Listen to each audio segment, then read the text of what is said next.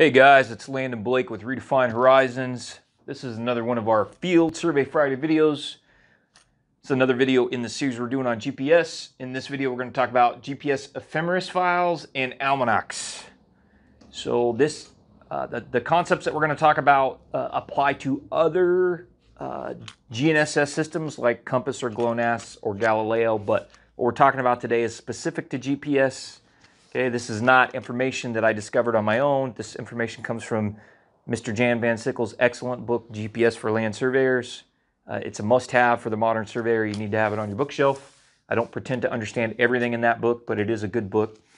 Um, I don't know if I've said this in my other videos on, on GNSS or GPS, but you know you don't, you don't have to be an electrical engineer or a rocket scientist to use GPS uh, properly as a surveyor, but you do need to under, understand these concepts uh, you know, you could say the same thing about it, the EDM on a total station, right? You should have some basic understanding of how that works. That helps you to use the tools properly and to analyze errors properly as a land surveyor. So that's one of the reasons why we're doing these videos on GPS. Uh, another reason is because you got to know some of this terminology and some of these concepts to pass your CST exam or your LSIT exam.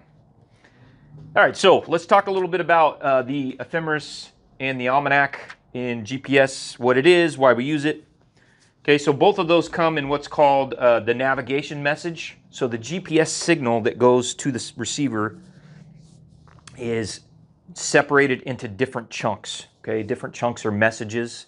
Okay, and one of the one of the chunks or messages that's sent down is what's called the navigation message.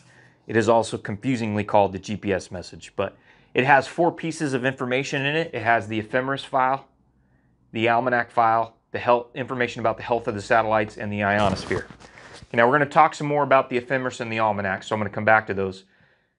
Part of the navigation message just lets the receiver know which satellites are healthy and which satellites might be having a problem. So GPS satellites like other technology gets old, malfunctions, has problems, gets damaged, they get damaged. So you want to know you want your receiver to know that.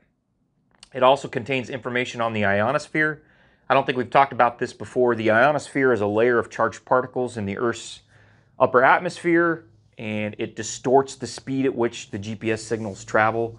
GPS signals are radio waves. They travel at the speed of light, which is very fast, but the ionosphere can affect that. So the navigation message has some information about uh, the, how the uh, ionosphere might be affecting the GPS signal. Okay, where does all this information come from? It's actually calculated by the ground control stations and then sent up to the satellites and then it comes back down to the receiver. Okay, so all this information is important. Okay, so we're going to talk real quick about why the ephemeris and the almanac are important and then we'll go into a little bit of detail about the ephemeris. Okay, so the ephemeris tells your receiver where all of the satellites have been over, for example, the last 24 hours. Okay, so it's time-based because you got to remember the GPS satellites are moving in relation to the surface of the Earth. They are not geostationary. Okay, so the ephemeris says, all right, receiver, here's where these satellites have been. Okay, here's their relationship to where you're at on the surface of the Earth. Okay, that's going back in time. The almanac looks forward.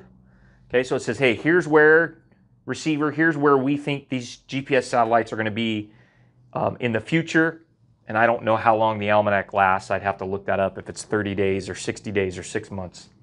Okay, the reason why the almanac is important is when you first start your GPS receiver you first power it on, it has to search for, find, and lock on to the different GPS satellites. If you have a current almanac or an, an almanac that that if if your receiver is relatively close to where it was last locked onto the satellites, the almanac greatly speeds up the process to initialize and, and find and lock onto those satellites. Okay, so if you have a good good almanac, you can get what they call a warm start.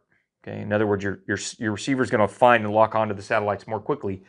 If you've never powered your receiver on, or it hasn't been used in months, or you ran it in California and now you're in New Hampshire, your almanac your almanac's not going to be any good, and you're going to have what's called a cold start.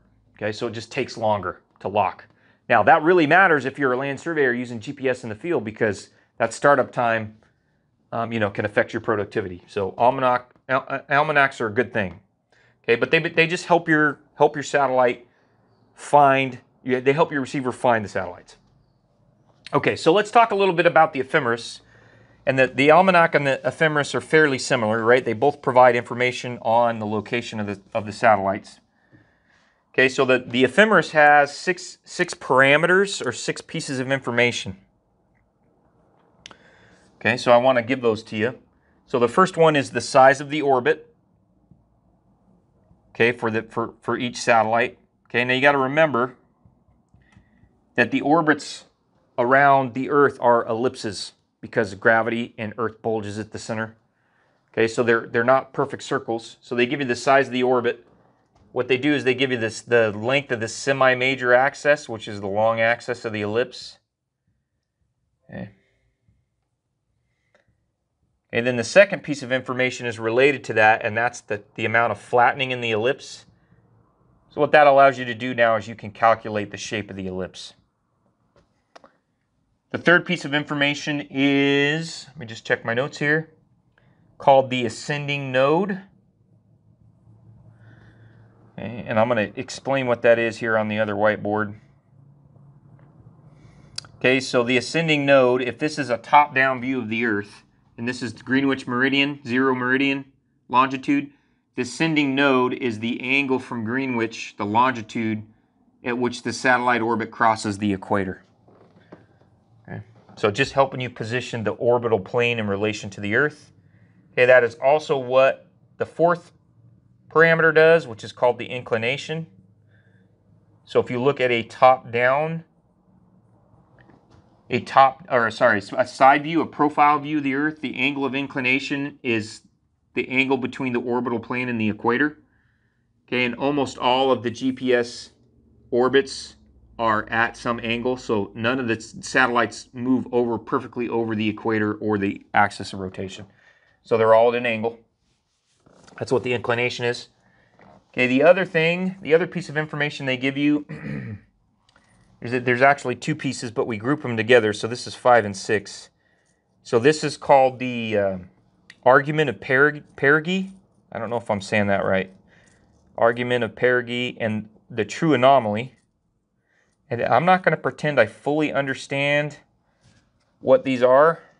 I, I tried to understand, and I even did some research on the internet, and I didn't fully understand it. So, argument of perigee and true anomaly. What those do is those tell you where in an orbit the satellite was is at a particular moment in time.